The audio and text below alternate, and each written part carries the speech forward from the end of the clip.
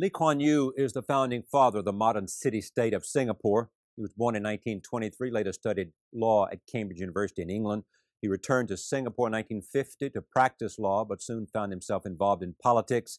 He became an anti colonialist who founded Singapore's People's Action Party in 1954. Four years later, as the party's leader, he became the country's prime minister at age 35. In 1990, he resigned that office and became senior minister in the Singapore cabinet. I spoke to him earlier today at Harvard University in Boston, where he was giving a lecture on leadership, the first of a series of world leaders to do that. He's got a new book. It is volume two called From Third World to First, the Singapore Story, 1965 to 2000. Here is what the new Nobel Prize winner, Kim Dae Jung, the president of the Republic of Korea, says about him. Whenever I first met Mr. Lee Kuan Yew, I was deeply impressed by his intellect, his vision, and the depth of his understanding of history and society. No matter where you stand on the political spectrum, you will see in this book how a political leader of insight has led a tiny country to a prosperous modern society amid the tidal waves of world politics. And you'll also find his ingenious views on Asia and the world to be a source of deep inspiration. That is Lee Kuan Yew. This is the book, and here's the conversation that took place at Harvard. What advice would you give, you, to an incoming president about what's the opportunity for America right now? I think first amongst among your allies, uh, this triumphalism, this hubris, should be tempered down. I mean, you are ahead of them. I mean, not just in military technology, but in the internet, in uh, IT, you're 10, 15 years ahead of, 10 years ahead of Europe, 15 years ahead of Japan. As, you know, whilst they were tinkering away with the old economy, you developed a new one. Right. Uh, but it's unwise to believe that uh, they are congenitally incapable of catching up. I think they will catch up, if not 10, 15, if not 15, 20 years from now. And maybe the catching up may be faster. so you've got to try and anticipate that moment when they are more cohesive, when the euro is not going down from 113 to mm-hmm. 85, 84, 83 cents, and intervention pushed up to 86 cents. Uh, the scales will tip. Uh, the dollar is overbought, and people start selling dollars and buying euros, and things change. It is important to let them believe, not just by statements, but in actual practice, that they do count as a very strong and reliable ally of America, not as a, uh, an addition. So the United States has to make sure, with respect to its European allies, uh, that it wants to be a partner. It has to look at China and the Russian Federation and say we don't have to be adversaries. Uh, we have to coexist yeah. in an engaged relationship because the world is smaller and smaller and smaller because of technology and communications and satellites and all of that. Yes? What else should we do? Uh, in trade and technology, and through the internet and through your investments there, you can create a multiple set of bonds, of links that will not only closely tie up the two economies so that they are dependent on each other, but also people, their CEOs with your CEOs, their engineers with your engineers, their accountants with yours, lawyers, and so on, so that there is a broadband appreciation of each other. And for the next 20, 30 years, they'll be doing much of the learning. There's precious little they can teach you about modern management. But beyond that, I think you may begin to learn a few things from them. Like what? Uh, like a certain cohesiveness of a society. I mean, they are very much, uh, they used to be, they call themselves Marxist Leninists, but in fact, they've always remained Confucianists. Yes. Uh, they will not allow uh, their society to become too disparate, the distance between the successful and the less successful. This is one of their greatest ambitions or objectives. Is not to allow there to be too great a distance between the most successful and the least That's successful. right. And that's, that's Because it rips at the social fabric. because it goes against their philosophy of life. Hmm. It's a Confucianist philosophy that the wealthy and the, the powerful owe a duty to the downtrodden. Do you believe that? Yes, I do. Because of a Confucian philosophy, or So you don't find beggars, you don't find uh, uh, half-starving people sleeping in doorways or in under the bridges or whatever. And we, we will, it, it offends the whole society. So we pay a little bit more, uh, rehabilitate them, put them in proper homes, feed them, teach them a job. We just can't leave them as derelicts in society. It's, it's offensive offensive to to, to, the, the rest of society. and the judgment of history and the judgment of No, uh, our judgment of ourselves as a self-respecting people. Yes. back to the United States. What should we, as a nation, and partnership with Asian countries, with Europe, what is the obligation to the third world and less developed countries? Because you are on record now as being careful about retiring third world debt. Uh, I was asked by Barbara Crossette of the New York Times whether debt relief will solve third world problems. I said no. But it's, no, you're not on saying on face it's a bad idea. No, I'm not saying that it's a bad idea, but I'm saying it's not going to solve the problem. There may be cases where your, a country is destitute because of drought, famine, uh, whatever, and it can't get restarted. So maybe you'll help help it to uh, get some credit by wiping out previous debt. But wiping out debt without the structures and the policy to get it off the ground means it will not be able to get another loan. I'm not going to lend money to a country that says 10 years after borrowing the money and not paying interest, says, please write it off, because that's the way you help third world countries. Next time they come to your bank, you say no. Next time my bank will close its doors. here's what I hear you saying that that the idea, if anybody thinks that canceling debt or retiring debt is a panacea for getting your house in order, they're wrong. And if you look at what happened to Indonesia, it was a mistake that could have been avoided. Yes, of course. I'm not saying that they should have written off the $80 billion worth of debt by the private sector in Indonesia. They could have held that in moratorium and allowed the economy to continue. But without US support, without IMF support, and the, the solution that they imposed to change the nature of the playing field, to change the system of government, so that the ruler, President Suharto, then will no longer give contracts to his children or to his friends. In the midst of a financial crisis, that challenged him. He was offended. He went out of his way to give a few contracts to his children. And that broke market confidence and Why did you choose the models you did? Did you have some experience with people? Did you look somewhere? What made you know? Did you know this was bad? Look what's happened to all these countries and how bad they're doing. This is now 1965. yeah.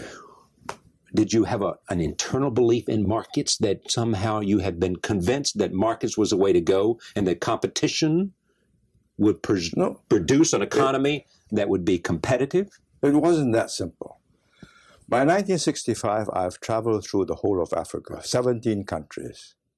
I went through in 1964 on a special mission. I've traveled widely in Asia and in Europe and in the region. I've been to Indonesia, Malaysia, Burma. And I've seen what didn't work. First, leaders became soft. Right.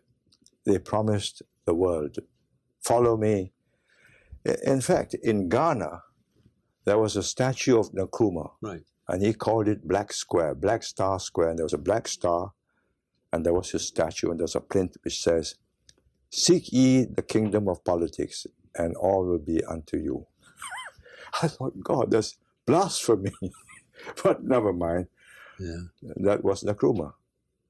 And it was an awful mess because you could see the thing wasn't working. He had all the symbols, black square, marching troops.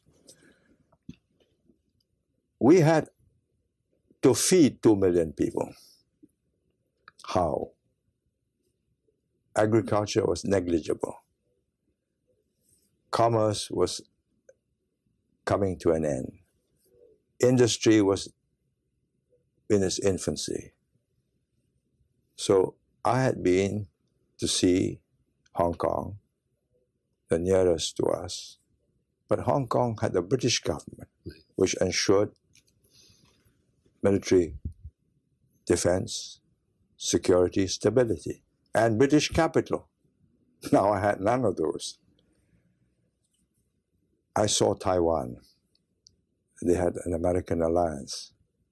So somehow I had to get this thing going.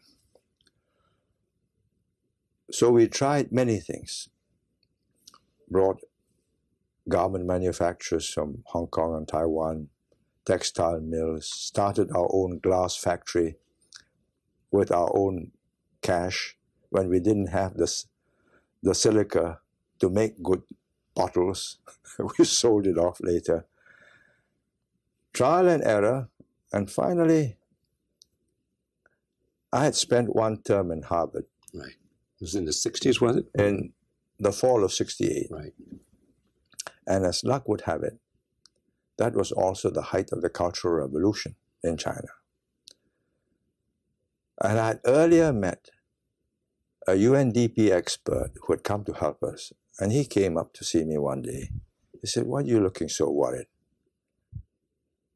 I said, I'm in a spot. He says, No, you are in a spot, but imagine how much more difficult a spot you'd be if you had 100 million Japanese as your neighbors instead of Indonesians. that set me thinking. Said, Yeah.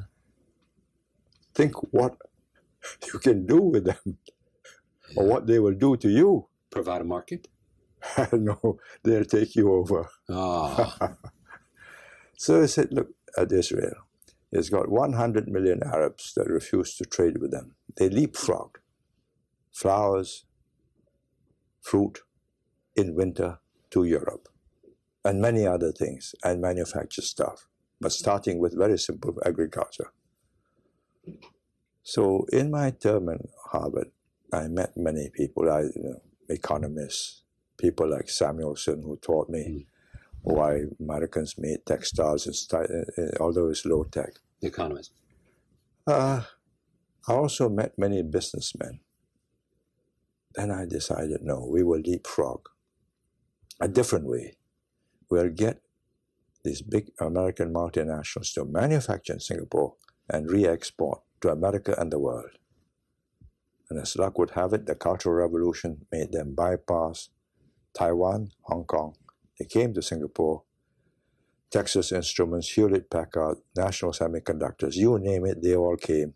Seagate, and we became the biggest manufacturer of disk drives. In 20 years, we were, we were the center for disk drives and computer parts and computer peripherals. We never looked back.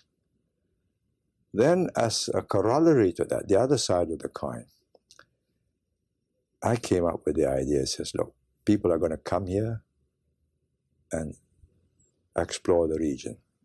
And it's dangerous region. I mean, pestilence, malaria, Mm. typhoid. Here in Singapore, we'll create a first world oasis out of this island. It was a third world island, but we'll create a first world condition From third world to first. there so that they will base there. They'll break camp here and then venture out. And when they're sick, they'll come back. And their precious equipment will be left here. So we had first world standards of infrastructure, roads, airports, seaports, communications, health, schooling, personal and public security. Later on, we added concerts, theaters, etc. But the basic was first world. That was easy, the hardware. The difficult part was getting the population that's been behaving like a third world to start behaving like the first world. And that's what I want to know. How did you do that? well, people used to make fun of us because the foreign correspondents came and watched us uh, start these campaigns on television and ministers saying, stop spitting, stop littering. We, we had them by the month, you know.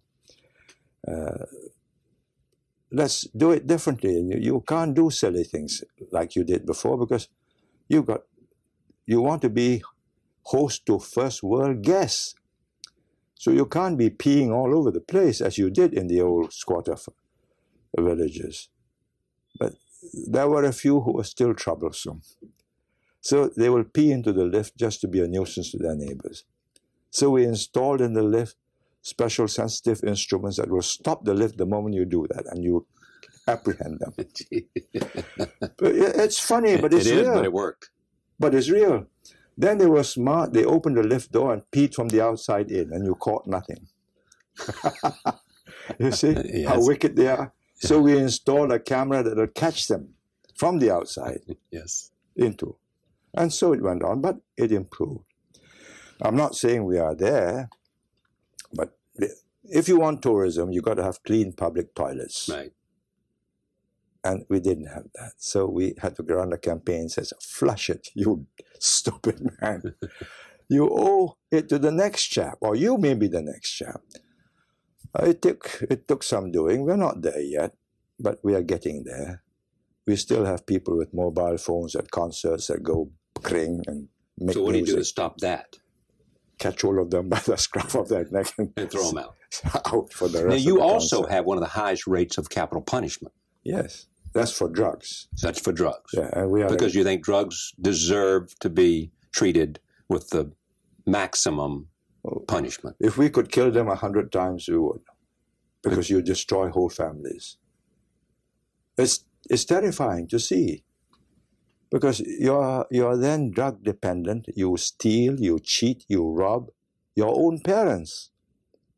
I mean, it's it's soul destroying, and they come in knowing that death, if they are found with this goods on them, but the rewards are so great.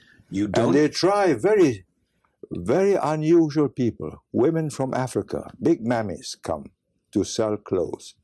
And in between the clothes are kilos of heroin. and if you say if you bring heroin into Singapore, You hang. you hang. You hang. Anything beyond 10 grams, you hang. Below 10 grams, maybe you can. if you are convicted of bringing in more than 10 grams of heroin, you hang. you hang That's right. after a jury trial. Yes, of course. No, no jury trial. Judge. Judge. Yeah. Judge listens to the evidence presented, Yes, of course. and if he says you're guilty, you hang. You hang. And they still come. Unbelievable. Well, do you believe capital punishment is a deterrence or not? Uh, without capital punishment, our transshipment rate as a drug center would quadruple or quintuple. Because you're right on the passageway. Yes, and our internal consumption would go up by a multiple of 10. Do you care when you look at the achievements Yeah. that they say, boy, Lee Kuan Yew has created a miracle in Singapore, but he is an authoritarian. He doesn't care about democracy. He cares little about a free press. Doesn't care. Uh, believes almost that he knows what's right for Singapore. He knows what's right for the people, and that he is going to see it the way he believes it ought to be, come hell or high water. Let's put it in a Kinder way. more objective. No, Okay. no, no, No. not kinder, just more objective. I have to govern now 4 million people. 3 million are Singaporeans, 1 million are foreigners who get jobs in Singapore. And of that 1 million, 100,000 are professionals. Why do they come there? Because it's a thriving economy that gives them jobs and their families are happy and safe. No drugs, no muggings, no rapings. You can walk the streets, three o'clock in the morning, you're okay. Now, how was it achieved? By the male fist? You won't see any policemen there. You won't see soldiers lining the streets. Every four years to five years, I have to renew, I had to renew my mandate as a free election. And there are about five, six, seven different parties that will spring to life one year before the elections and try their luck. And in the last few elections, they devised a new strategy. They knew that the people wanted a PAP government, but wanted an opposition. So they say, right, on nomination day, we will contest less than half. So the PAP has already formed the government. And it worked. And they won four seats.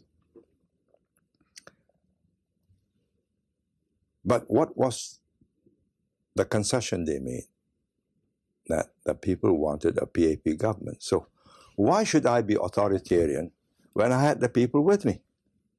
That's what the people wanted. They wanted a high quality of life, low crime rate, good future for the education of the children, and jobs, better homes, better hospitals, and a higher quality of life culturally. So, art galleries, concert halls, uh, symphony How about a free press that that's free to criticize the government as much as it wants to? Provided I have the right of reply. I mean, the right of reply. Yes, I don't Well, you have the right of reply to do anything. I No, mean, no, no. You have they- access to. they don't give me the right of reply. With the local press, yes, I have the right of reply. right, exactly. But with the foreign press that sells in Singapore, they used to deny me that. Yeah, of what's your conflict with the Wall Street Journal? Well, the Wall Street Journal started off. This is a great newspaper. Yeah, it is.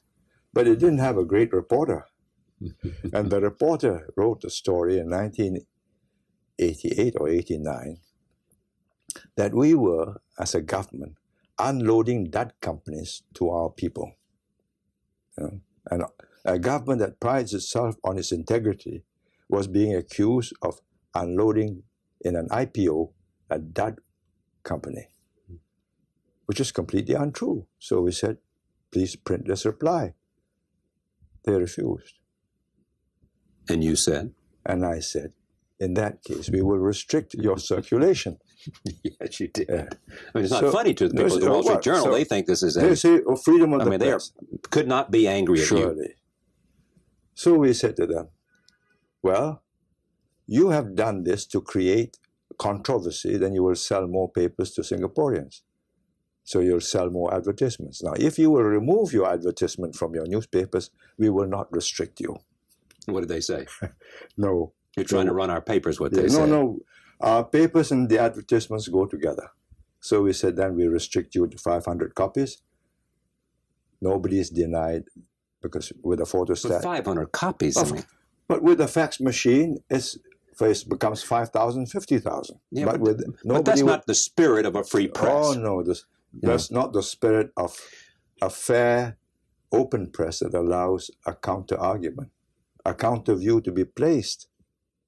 So in the end, they agreed. They're going to print what you say. I mean, they're going to cover what the They then don't. prime minister said. They don't. They, they don't. don't. All right. They they always put a spin on it. Yeah. You don't. Do you believe in a free press? Do you believe in the idea of a free press? I believe in truth, Truth. Yeah. That's different, isn't it? and I don't believe that the press should be crusading and putting a spin on things. I think they should print the story and editorial, editorialize or pontificate separately, and not skew it with the headlines and the subheadlines and putting it in the inside pages. Do you believe if someone said Singapore, Yes. this modern state, Yeah. city state, that pretty much escaped most of the Asian economic crisis Yeah. that plagued Japan, Thailand, Indonesia, Malaysia. You were relatively, compared to them, immune. Yes. Not immune. But Our damage was collateral. We had lent them money and we had lost money. yeah, And when money was pulled out of the region, they pulled it out of Singapore too. You seem to believe not in the individual, but in the state. You seem to be much more of a statist than someone who's such a fan of free markets. There's a profound difference in the core philosophy between the American and the Chinese. And it's a reflection of your history. You came over in the Mayflower, you were uh, seeking religious freedom, so much so that you refused to allow it to be taught in the schools. Uh, you believed in the individual as the creator of all things, and you you captured the Wild West. I mean, the, mm. on horseback, Newtown, Main Street. You be mayor. I'm sheriff. You're a saloon keeper.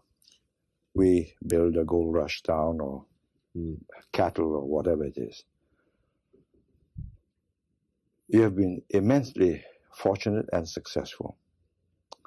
Two world wars left Europe in a shambles, and you emerged as the undamaged technological and industrial power.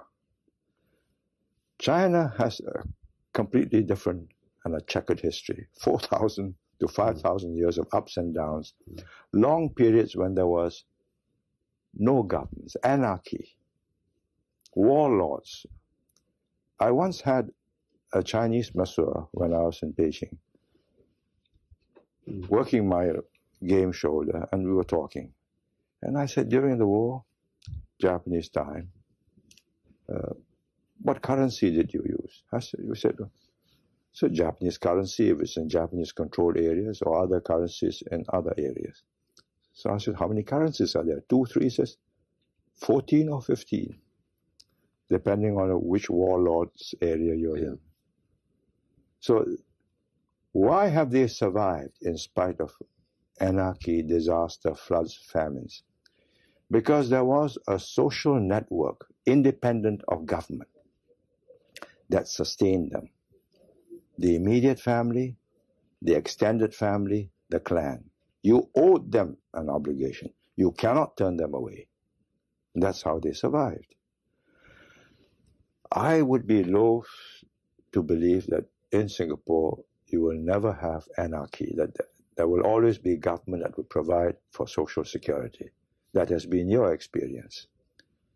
I'm not sure that will be the Singapore experience. I think we are safer if we keep those family bonds, those traditional life raft systems not dependent on the state, which places the emphasis on family extended family, and then the government, and not the individual at the expense of the family and the state, which is the American system. So you have Bill Gates or John Chambers of Cisco, or you, you, you look up uh, Forbes or sure. Fortune or whatever, and 50 of the best and the brightest and the wealthiest.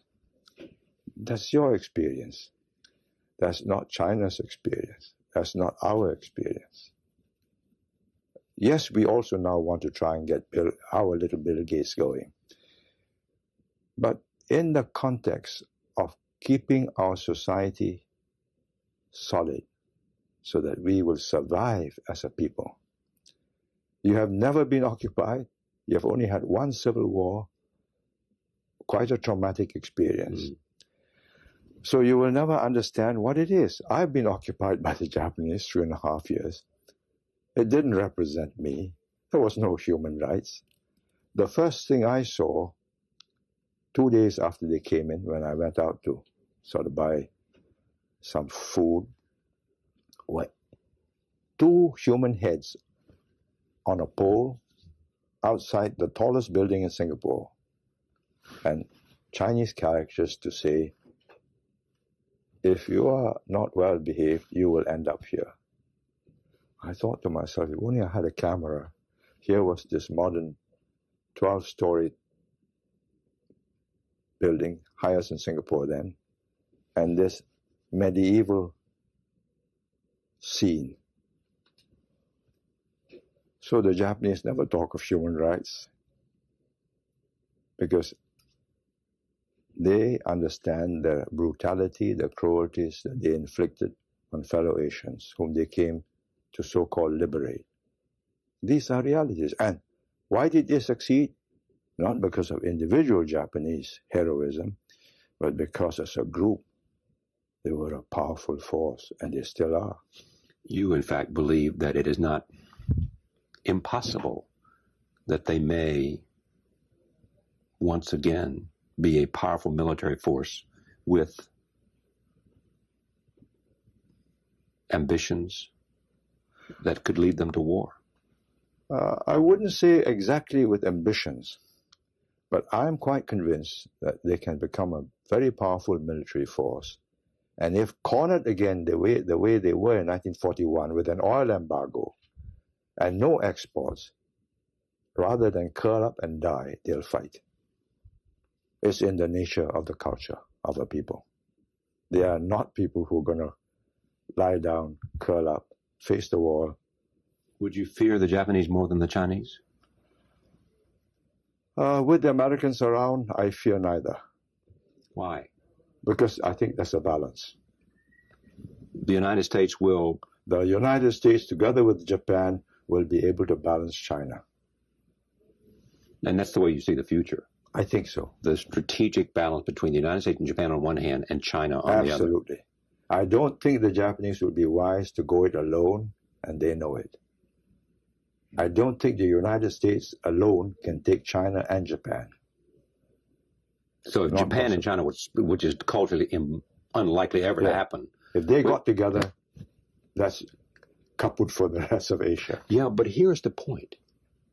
We all thought in the 60s and 70s and beginning of the 80s that Japan had a lock on the economic future. They were 75% of the Asian economy. Yeah. 75%. And look what happened. No. Oh. All of a sudden, we're not following their economic model. All of a sudden, we're looking and saying, why did they fail? No, no. Just, just pause for a moment. Okay. You are in Southeast Asia primarily in the extractive industries. You take Indonesia. You're there extracting gold, copper, oil, gas, other things. They're there manufacturing tires, cars, textiles, TV sets, audio sets, many, many manufactured goods. And they're going to come back.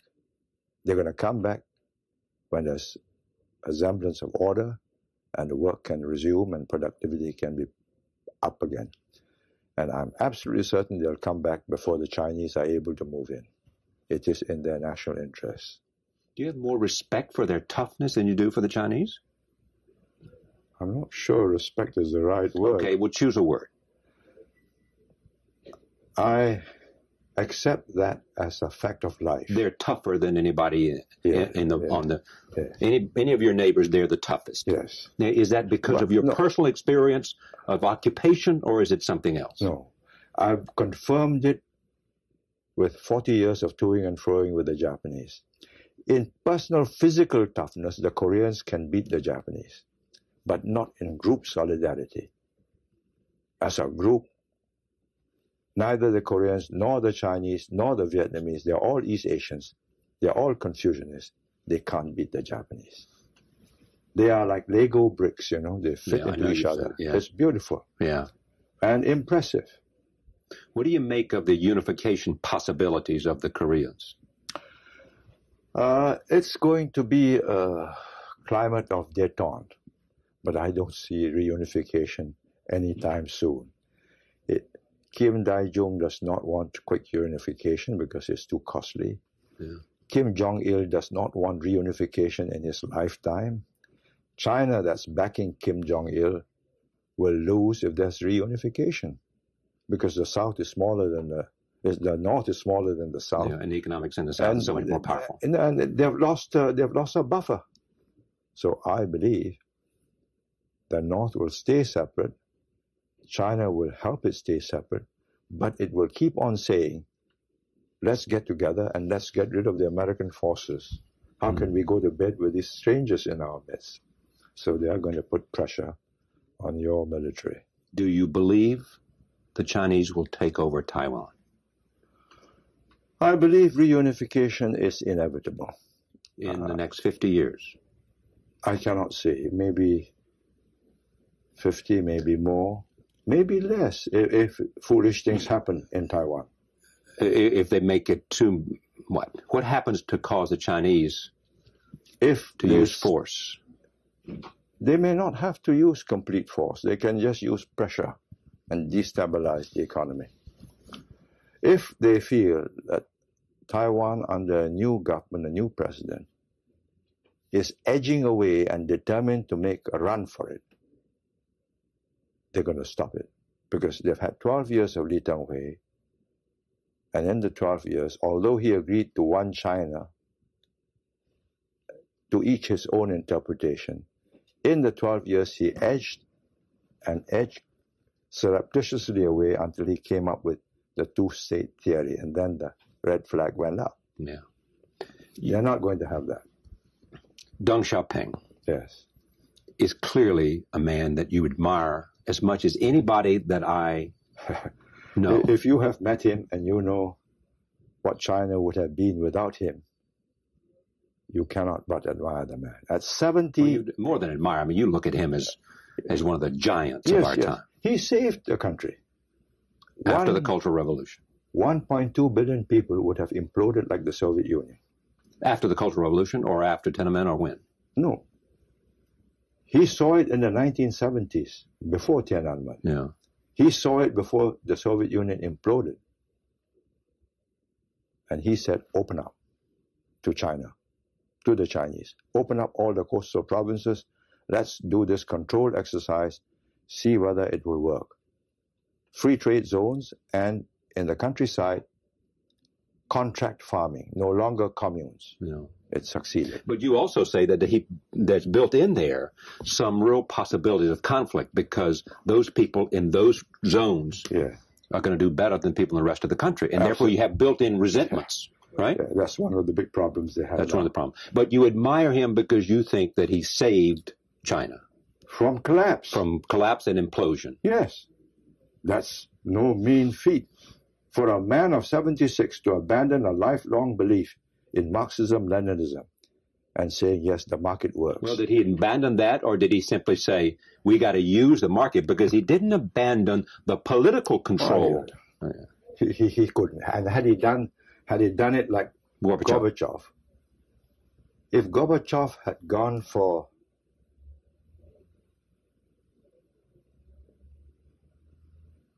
restructuring without perestroika, Yeah. he might have succeeded. If Gorbachev had understood what Yeah. Deng Xiaoping understood. Here's what's interesting about you too. This book ends in the year, this book, 2000. Um, you gave up power, in part, as prime minister in 1990. Marcos didn't give up willingly. Deng Xiaoping died in office. Most of the people who've had the influence, have had the success and power that you've had have not been willing to go from power. Now they will say you're senior minister and you still will wield enormous power in Singapore. That's not true. I wouldn't be here sitting chatting with you or spending three days at the Kennedy School Right. lecturing and meeting students. If I were in power, the buttons would be with me. Day by day, there are events that are happening that have to be responded to, and I'd be in Singapore. If I'm here, I'll have a whole team Right. and a constant flow of faxes and email and So why'd you give up power? Well, it's quite simple. By the time I was 65, which was in 1988, 23, 65, 88. Right. I won my last election. And I told my colleagues, choose your leader, take over. I just won. I was at the height of my career. And I wanted Yeah, but I wanted an exit whilst my head and tail was up. and where you could have some influence on your successor. Uh, no, I allowed I allowed them, the group that I had recruited into the cabinet Right. to choose their successor because I had seen Deng Xiaoping appoint two successors and then sack both of them. Right. Exactly. I did not want to do that. I said, you choose, and whoever you choose, you got to support him. They chose Goh Chok Tong. Yeah. They've had to support Who's him. doing pretty well. Good for him. Well, I mean, but in And fact, I- he's done better than you suggested he might do. yes. Yes. Yes, indeed. And guess who the deputy prime minister is? The deputy prime minister was chosen by the prime minister. And who is the deputy prime minister? he is my son. And he will one day, in the next five years, be prime minister. I have lived long enough to know that these things cannot be predicted with certainty. Eight years ago, out of the blue, when I was conferencing in South Africa in Johannesburg, talking to the Financial Review and Investments, my son rang me up when I was actually presenting my paper. I rang back. I knew it was bad news. And he said, I have lymphoma. Mm-hmm. The world just turned gray. I spent the next few days discussing with my doctor what does it mean? Fortunately, they diagnosed him, did the biopsies, and it was a lymphoma which was intermediate grade and responded to chemotherapy. Had it been high grade or low grade, he would have had six, seven, eight years and finished. But he had the intermediate grade. Chemotherapy worked. The specialists in Stanford and in Singapore said if it doesn't come back, come back after five years, mm. you're you're in the clear. It's now eight years, and I keep my fingers crossed for him. But life has got that big question mark. You never know. Greatest person, the greatest leader you ever met, Deng Xiaoping. Yes. The most, Indira Gandhi. You say about her, Or she's toughest. the toughest, the toughest. And not not necessarily. Thatcher didn't even compare Margaret Thatcher. No, I think she's tougher than Margaret Thatcher. She's tougher. You knew Mao Zedong? Yes, but then he was already half a vegetable. Yeah. Didn't know Winston Churchill. No. Admired him greatly. Yes. Think about leadership, subject you talked about last night. You know, what is it, in its easy words to use, a leader has to have? And are they qualities you're born with or you learn? If you don't have that natural zest, uh, a desire to do things for other people, not just for yourself and your family, then you can't be a leader. You must have an interest in people. Beyond your own immediate beyond family. them, a- a- and their welfare. You must be able to connect with them, and you must be able to communicate with them. And if you want to to last, you can't break faith with them.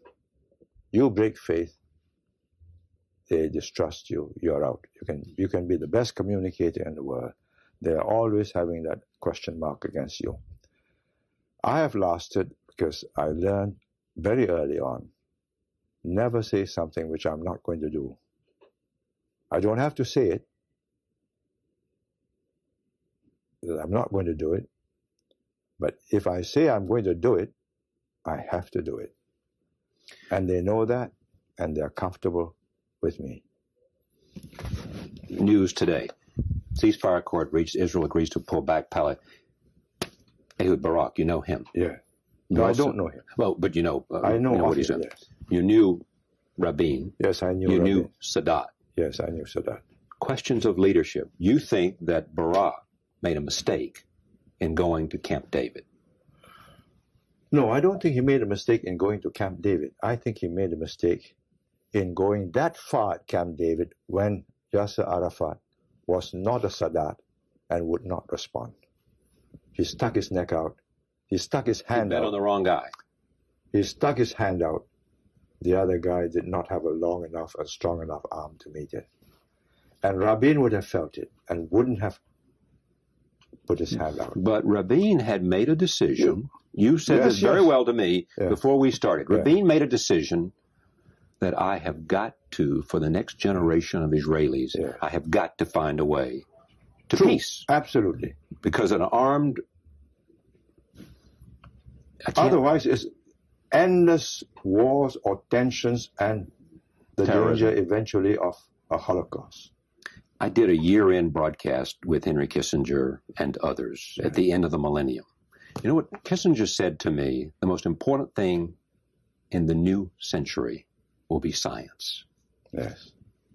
He also chose Einstein as the most important figure of the last century, and science is the most important force. Do you buy that? Yes. Because science means you're able to master the universe, change nature to the advantage of man, and through technology, make the world a better place for human beings.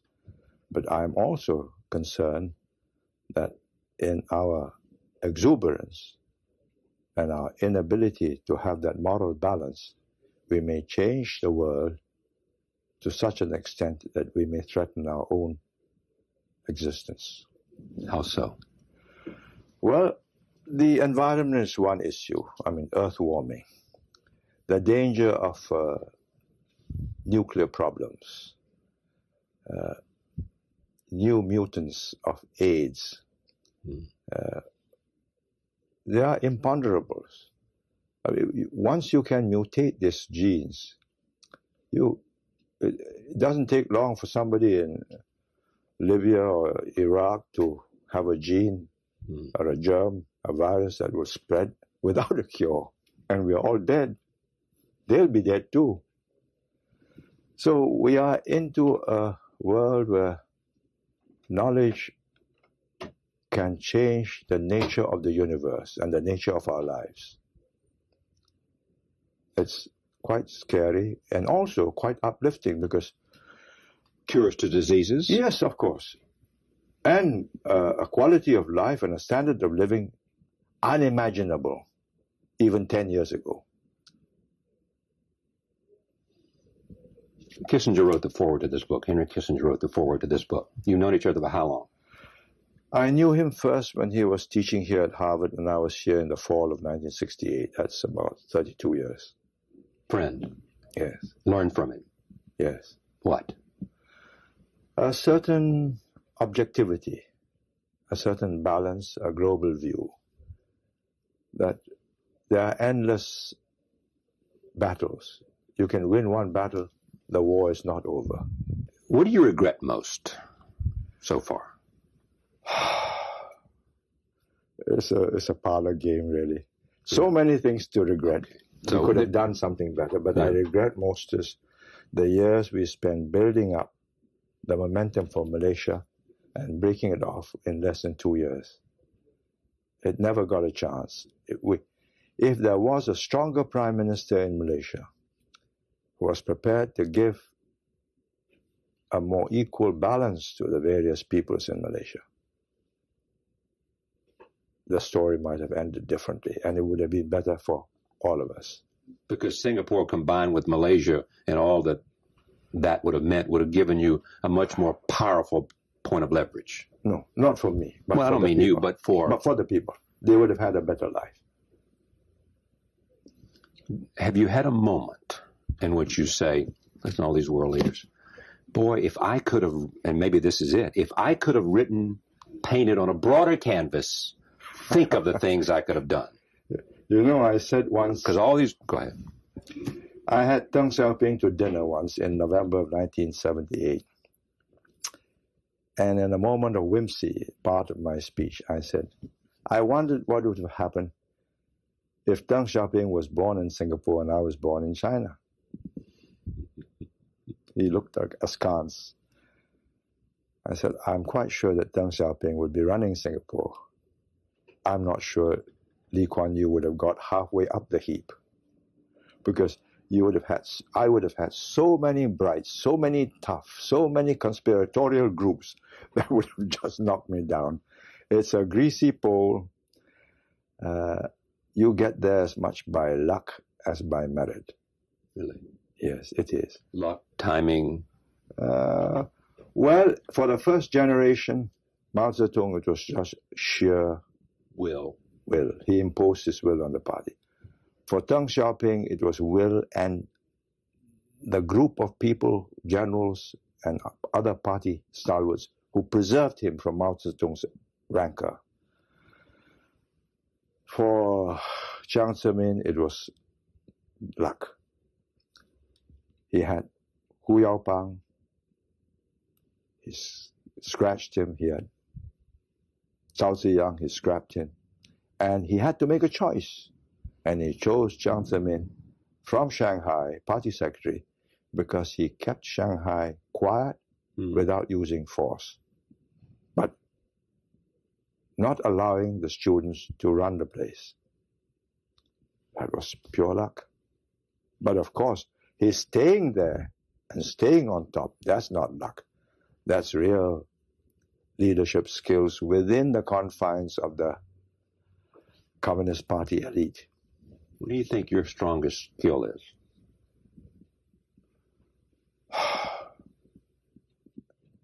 in my context, a capacity to persuade my people to do tough things. Do you really? Yes, otherwise they wouldn't have changed. Mind you, had I had a Chinese or a uh, base in China, not transplants in Singapore, I may not have succeeded. You try making them stop spitting in China. Can't be done. I've done it in Singapore. I think it probably was the capacity to grow. Your capacity to grow. well, yes, you got to learn all the time. Yeah. You But- understood that you could not stand still. Yeah. And you understood that you had to learn from history Yeah. or be, or as Santayana said, to repeat it. and keep on learning all the time. You never stop. The day you stop learning, that day you're dead. So that's why you're here at Harvard for another visit. From third world to first, the Singapore story, 1965 to 2000, Lee Kuan Yew, Singapore and the Asian economic boom. I thank you for the time. Thank you.